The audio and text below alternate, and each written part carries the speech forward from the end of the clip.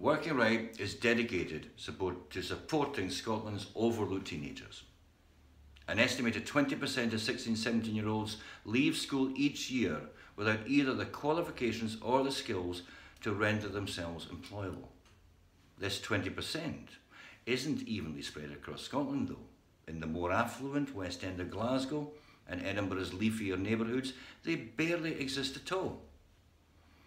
But in the social housing schemes across Scotland, they can dominate the statistics amongst their age group.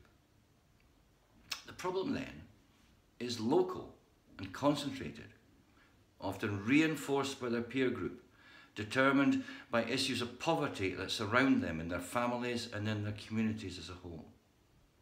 As the First Minister's Independent Advisor on Poverty, Naomi Eisenstadt, said in her 2016 report, Shifting the Curve, their parents simply cannot afford the support offered to children that is increasingly common amongst better off families. Private tuition, cult culturally enriching holidays, or deposits perhaps for a first home. It is, of course, good news that 80% of this age group are engaged in education and are progressing through the different routes that we hope will close the education attainment gap in Scotland. Sixth form, university, college, accredited skills training, or perhaps even the new foundation apprenticeship that is a recent development of Scotland's strategy on developing the young workforce. But what about the remaining 20%? The inconvenient truth is that those routes are not working for them. It's a system that doesn't understand what they need or what their lives are really like. Year after year, these young people leave school with a sense of failure, often convinced that they are in some way stupid. Why would we want to reinforce that even further by constantly telling them that without qualifications they will amount to nothing? It is true that they are unprepared for the world to work as things stand, but the skills that they are lacking are not the kind that are measured by qualifications.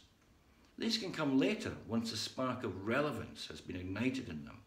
No, what is missing in their lives is their preparedness for the adult disciplines and expectations of a workplace.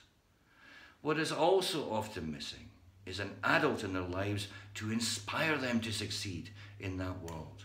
A different kind of learning, not from a relative, a teacher, a professional helper, or a social worker, but someone whose interest in them they can understand. An adult in the workplace who wants to see that young person add value to their business, will reward them if they rise to the challenge of this new adult world of work.